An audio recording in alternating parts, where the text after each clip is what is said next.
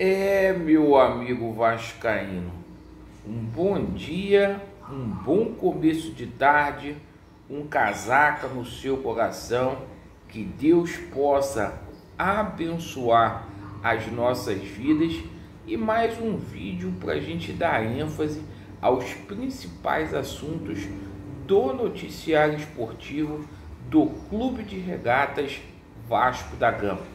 Vamos falar muito aí sobre a situação do jogo de ontem entre Vasco da Gama e Aldax, jogo que permitiu com que o Vasco voltasse ao G4 diante de mais uma vitória.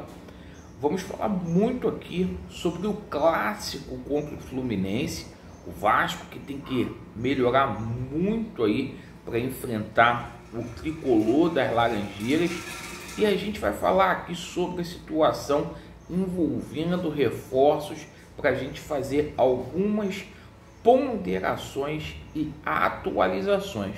Porque, meus amigos, ontem ficou mais uma vez escancarada a necessidade do Vasco da Gama para contratar. Eu peço a você que não é inscrito no nosso canal para se inscrever deixe o seu like ou o seu dislike e ativem o sininho. Bora aí para o nosso vídeo. Meus amigos, ontem o Vasco foi a Manaus, jogou contra a equipe do Aldax e vamos combinar, o Vasco ficou devendo e devendo muito, principalmente no fundamento finalização Ontem o Vasco perdeu um caminhão de gols contra a equipe do Aldax, uma displicência enorme aí na partida. O gol do Vasco da Gama foi marcado pelo David, né? O David fez um golaço, mas perdeu uns 300 gols ali. Mas apesar aí do Vasco ter perdido gols na partida, a gente tem coisas positivas para poder falar para vocês. Mais uma vez, o Léo Jardim, quando foi exigido, deu conta do recado. Isso mesmo, o Aldax teve chances para poder fazer gol, certo? E a gente viu ali também um, um Piton muito aguerrido, mais uma partida extraordinária do nosso lateral esquerdo, jogando ali, porra, e dando trabalho ali pela ala esquerda. Eu destaco aqui também a estreia do Galdames, que é um jogador que não é bobo. A gente vai ver um Vasco da Gama aí diferente, né? Com Galdames, com o Esforza e também com o Paê no meio campo. Vai ser um meio campo aí repaginado, certo?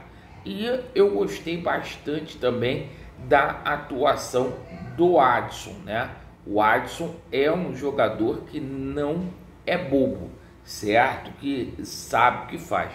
Mas o seguinte, pessoal, para o jogo contra o Fluminense, que é um, que é um nível muito maior, o Vasco tem que melhorar e tem que melhorar muito.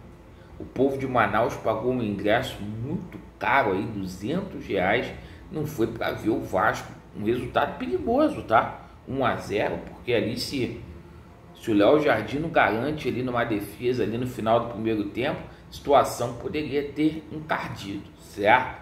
Mas vem o Fluminense pela frente, o atual campeão da Libertadores. O Fluminense que está ali caminhando para ser o campeão da Taça Guanabara, está em primeiro lugar. O Vasco tem que ganhar. O Vasco tem que ganhar esse jogo aí para dar aquele recado. O Vasco precisa causar boa impressão no seu torcedor. Essa é a grande realidade, veracidade aí dos fatos. Mas o seguinte, tá? É, o jogo contra o Fluminense é na próxima quarta-feira, no Maracanã, e ficou escancarado ontem que o Vasco precisa contratar, certo? E é 777, meu irmão, tem que se mexer. Ontem a gente ficou revoltado aqui com a situação do Duqueiroz, não é que o Duqueiroz seja craque, mas botar desculpa em sanção de Estados Unidos com mentira, mentira deslavada, isso não é verdade. O, o negócio é com a SAF Vasco, SAF Vasco tem CNPJ aqui do Brasil, certo? Não tem nada a ver com sanção imposta com Ucrânia, sanção imposta dos Estados Unidos conversa fiada. Logo depois o Grêmio foi e anunciou o jogador. Essa empresa ela é enrolada. E a informação que a gente obteve ali que foi cerca de 200 mil reais que o Grêmio vai pagar a mais pelo jogador. Foi essa situação. E ontem a gente tomou conhecimento aí que o Pedro Henrique assistiu o jogo do Vasco lá com os cachorrinhos dele, já postou a vinda do Pedro Henrique, está muito próxima aqui para o Rio de Janeiro certo? Está muito próxima mesmo. O empresário dele veio do exterior, está aqui no Brasil, em Porto Alegre, para poder fechar o negócio. E aí vai melhorar muito, gente, porque o Vasco precisa desse cara que joga ali pelo lado de campo. O Vasco precisa bastante de ter um jogador que faça essa diferença de lado de campo. O Vasco aí também precisa de volante, tá? apesar da gente ter o Galdames ali, o Esforza, tem que ter mais um volante, né? É, muito se falando ontem que o Vasco estava negociando com o Nonato, né? É o seguinte, meu irmão, tem que trazer jogador que chegue aqui para resolver a situação do Vasco da Gama. Agora, o jogador que está próximo aí de vir é o jogador Pedro Henrique aí do Internacional de Porto Alegre. Lauiana, onde que a gente pode chegar com esse time aí do Vasco da Gama? Dá para ser campeão? De repente, campeonato carioca até D, tá? Até D. É zebra? Talvez, mas carioca D. Agora, o campeonato brasileiro, tem que contratar e tem que contratar muito, porque essa necessidade ficou totalmente, mas totalmente aí é, escancarada ontem. Perfeito?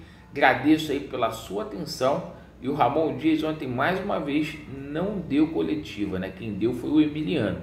Ramon Dias está até evitando ali de falar para não causar polêmica, né? Então agradeço ali pela sua atenção.